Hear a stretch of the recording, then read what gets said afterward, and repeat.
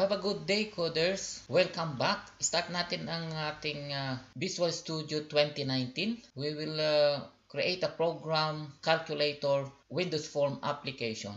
Windows Form application.NET framework. Next, change the project name WFA underscore second project. Create. Our environment you can the form change the name in the properties and the back color. Change the back color active caption change the name to calculator and the text. We will use the name calculator the name and this is the uh, name calculator and the text. Form 1 we will change it to calculator also. So this one is changed. You can also change the size of the form the properties where you can find also the size 410 to 396 if you change this one it will change also the size here and you can uh, lock the size here in the properties. Okay what we need here is we are going to make a uh, 19 uh, button and uh, one uh, text box for the calculator. Click the toolbox and get all the uh, 19 common control text box uh, button button 1. Copy this one and paste. Control C, Control B, Control B to 19. 19. Another one toolbox, a text box. Change the size of the text box or uh, change the properties of the text box and the name. So the text box will be named as our input box. So the, it, this one will be changed by input. Now it was changed. Change the font and change the properties of the button 12 and bold. And change the name to button of 1 text button 1 and our name is 1 design 1 so resize this one like this one and put this one here and copy this one uh, click this one control and here is the make the same size. Change the properties of all the button to name and also the text corresponding to the calculator button. And uh, repeat all the procedure to all uh, buttons and make it the mathematical operation the other button and cancel and enter. The last number 10 and become 0 so change the font change the text to 0 and change the name to 0 name CE okay let's uh, make a good uh, presentation for our button. Same uh, display and adjust the our calculator. This is our calculator.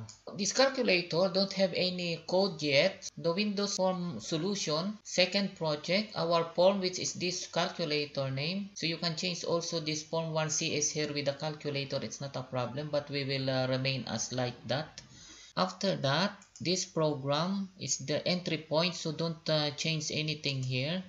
So if you want to to go on the code let's uh, go on the code. So you have to check the view code of the form or F7 so this is our code and we have here everything. So the uh, namespace the second project and our calculator which is the form of our calculator that we change in the uh, properties and now the initially and the public calculator the first uh, method and then it is initialized. So no no code yet uh, no program yet that created from this design. So what are we going to do is we will make a uh, callback uh, events and then the callback events will be clicking this uh, one every or go to the button and then after that click. So to go there here in the number one click events and then you have to find the the action click. And if you click this one it will automatically uh, put here on the uh, uh, form.cs our code automatic. Let's uh, go back click the click here if you click here it's one click and it will be added here have you seen that so this one is already our uh, callback action the object and then the argument which is the sender and the e Now let's do this one in all of the uh, button. Our we will now go to the calculator. Put that text equals uh, string 1 for the last uh, button division text. The sign is uh, O below the division sign. So you have to alt 2 4 6 division sign Below press alt 2 4 6 save and let's try start compiling so here we are, our calculator. I want that the the numbers will be displayed totally here. So what I'm going to do is to add an additional concatenation and then we will use the plus sign. So put here all uh, plus sign to concatenate the, the string. 2 minus and let's run again this program. Continue and make the mathematical operation. Start again. It's compiling. Plum plus 1 equals we will do a code the mathematical operation and then we'll display the answer. Go to equal this one. So we need to make a string here. A variable string which is a txt n equals uh, our input uh, txt we will get it. the txt and uh, to do it now let's uh, make also a string array. Set this one initialize and uh, integer equals uh, 0 comma multiply. Set. Okay. Array of character for each character y in uh, input text to see if it is valid or not no? If it's not valid so so we need to make a test plus plus include integer test. The mathematical operation is uh, doubled or not so the y is equal to the character of plus and it was only single quote uh, add is plus plus. So we need to count it no? Another one is else if so that is our checking. So we have here if this one add is uh, greater than so we need to exit the program and put an error. So if test is 100 so we have to check if the mine or the operation is also uh, doubled or not. If if minus is equal to 0 and add is equal to 1 only addition is allowed. And then so math equals plus. And else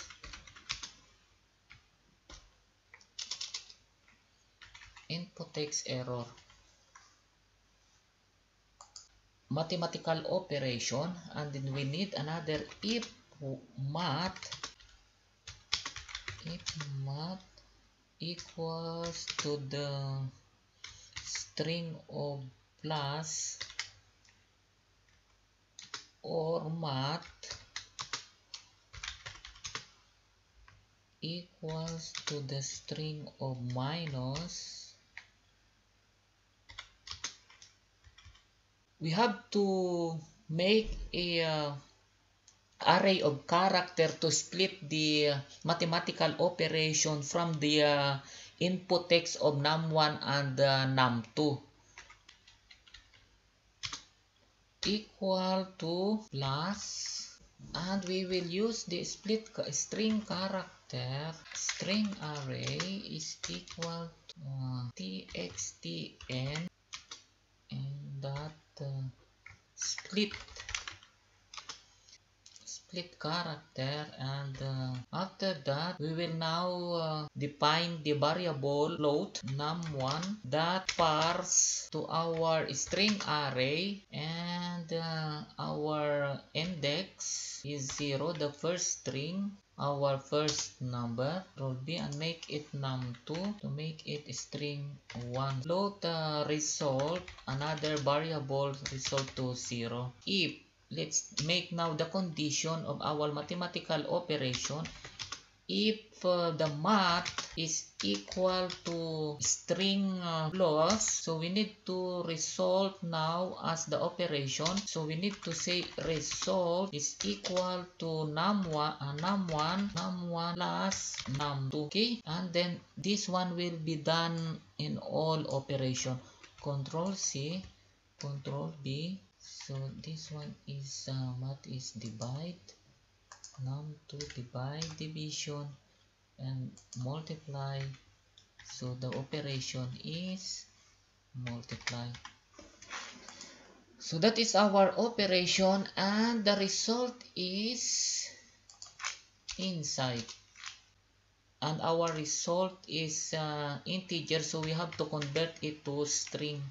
Our program. And we have to remove this uh, input input text here start equals to it's correct. But I forgot to include the point here so I need to include it also here. So we will uh, include also the clear and CE4 and enter. So we don't have so let's uh, include the point here and uh, let's put put here the else from test 100 input text plus uh, error.